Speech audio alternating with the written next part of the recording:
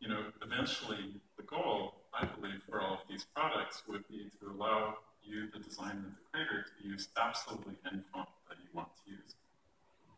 In Thomas Phinney's talk at the beginning of A-Type he um, highlighted some of the non-technical challenges in reaching that dream.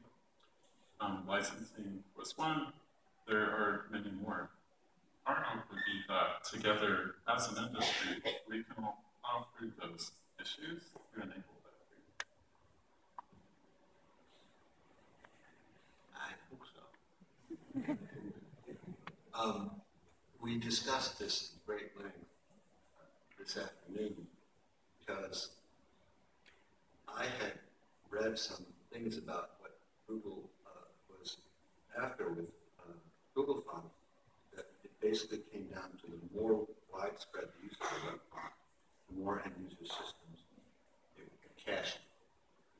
And the quicker Google Surface services that use that font will deploy and display content.